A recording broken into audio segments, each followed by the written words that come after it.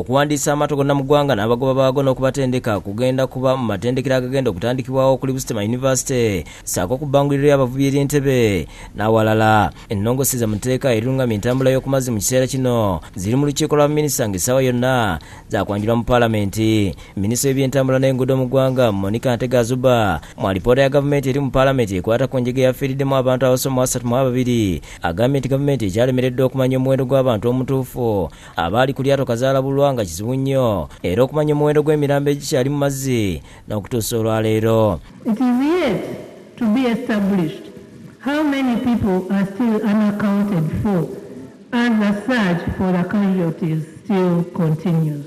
minisita ntega agambye nti gavumenti oluvannyuma lwa byonna egenda kumimyula amateeka n'okukangula ku ddoboozi. N'alabula bannayuganda bonna okugoberera ebiragiro n'amateeka amapya agenda okukolebwa kubanga kitaasa bulamu bwabwe. Government will henceforth take stringent measures towards anyone operating any boat without statutory certification. ono era alabudde abantu okukomya okujaajamya obulamu bwabwe nga balina amaato n'ebidduka ebirala bye balaba nga tebiri mu mbeera nnungi That the general public should always take personal responsibility for their safety by ensuring use of appropriate life-saving appliances.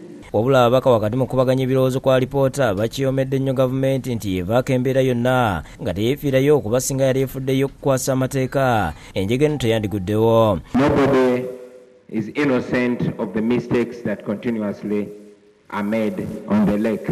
abantu abaaliwo batutegeeza nti of course kino ekyoja mu miro nga bwe mukimanyi poliisi bwe yali ebaganye omusajja n'ayi- n'ayingirawo ne bamunyiga ekikonde oyo n'abata awo olugendo we lwatandikira. Gavumenti erowooze ku kulongoosa embeera y'entambula ku mazzi. Oba kitwetagisa kwewola etwewolere naye abantu abatambulira ku mazzi bali mu mbeera mbi. Minisita omubeezi w'ebyokwerinda bright lwamirama era nga yavunanyizibwa ku baazirwanako agambye nti gavumenti abantu abalabiddwako nga basika eryato kazaalabulwa tebamanyi era si yabayise bano ababadde bagezako aba brown whites fe tetubamanyi. Amyuka sipiika jacob olanya asibye gavumenti enyinyone ku nsimbi obumbi bwa dola za amerika 14 ezeewolebwa gavumenti okukulaakulanya entambula y'oku mazzi. Engeri gye zaasaasaanyizibwa n'ebizaakola n'alagira akakiiko ka paalamenti akalondoola ebyentambula okunoonyeza ku nkozesa y'ensimbi zino. I call upon the Committee on Physical Infrastructure to carry out general oversight on the water sector in the country and to specifically follow up on the implementation of the African Development Bank loan,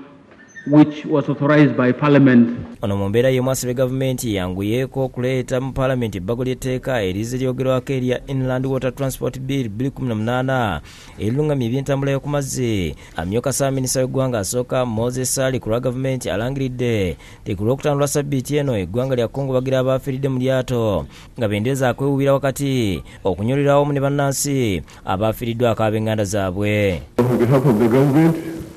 want to declare Friday, 30th this month, as the mourning day in recognition of that tragedy.